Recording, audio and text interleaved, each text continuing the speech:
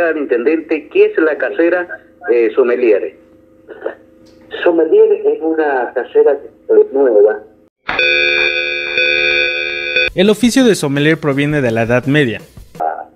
A, a todo lo que tiene que ver con los agasajos, con los encuentros empresariales, con lo, lo que nosotros hacemos normalmente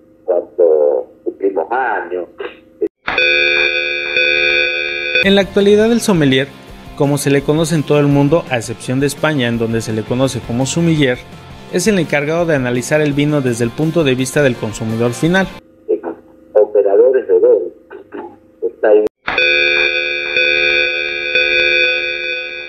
En el restaurante, el sommelier es la persona de servicio que te asesora al momento de elegir la etiqueta de vino adecuada al platillo en tu mesa.